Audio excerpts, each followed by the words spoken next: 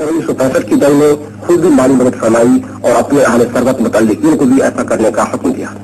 اس موقع پر آپ نے ریڈیو پاکستان سے ایک تقریب بھی نشر فرمائی، جس میں تمام مسلمان پاکستان سے بالعموم اور اپنے مریدین سے بالخصوص اس جہاد میں بڑھ چڑھ کر حصہ لینے کی اپیل کی۔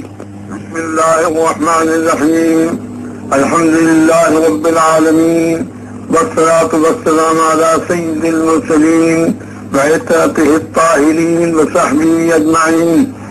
أما بعد، برادران ملت، السلام علیکم ورحمۃ اللہ وبرکاتہ میں اب تک اگرچہ سیاسیات اور دنیاوی جمیلوں سے دور رہا ہوں، مگر آج جبکہ ملک و ملت کو نہایت ہی پرخطر اور مشکل حالات کا سامنا ہے کسی طرح بے تعلق نہیں رہ سکتا۔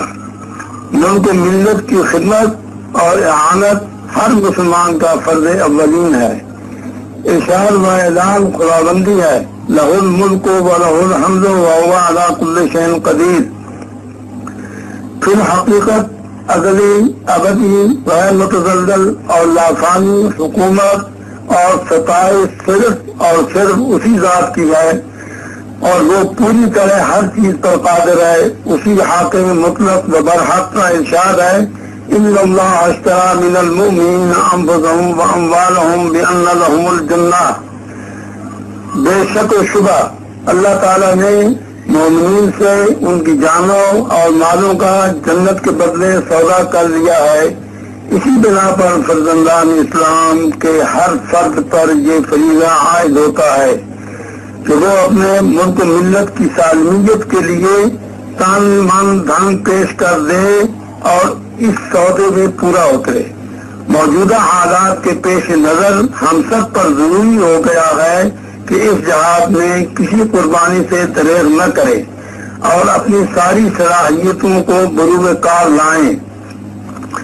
میں اپنے متعلقین اور مخلصین کی ان خدمات پر جو وہ ضلع گامے گرمے قدم بری بحری ہوائی، حفاظتی اور معاشرتی شعبہ جات میں نہایت اخلاص بلند حوصلگی پرگلی اور پامردی سے سر انجام دے رہے ہیں۔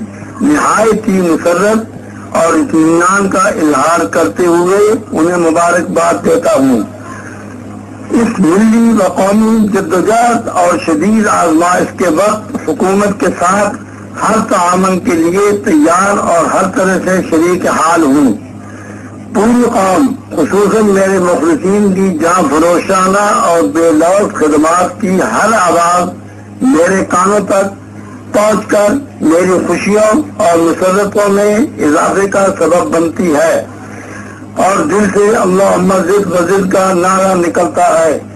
ہماری کامیابیاں اللہ تعالیٰ کے فضل و کرم سے ہیں۔ ہم کو ہمہ وقت اس رب اکبر کا شکر ادا کرتے رہنا چاہیے۔ حقیقی شکر تو یہ ہے کہ ہم ہمیشہ کے لیے عائد کریں کہ اس کے عوامر کا احترام کریں گے اور نوائی سے اجتناب رکھیں گے۔ میں دست بدعا ہوں کہ اللہ تعالیٰ تمام امت مسلمہ کا عموماً اور مسلمان پاکستان کا خصوصاً حامی و ناصر ہو۔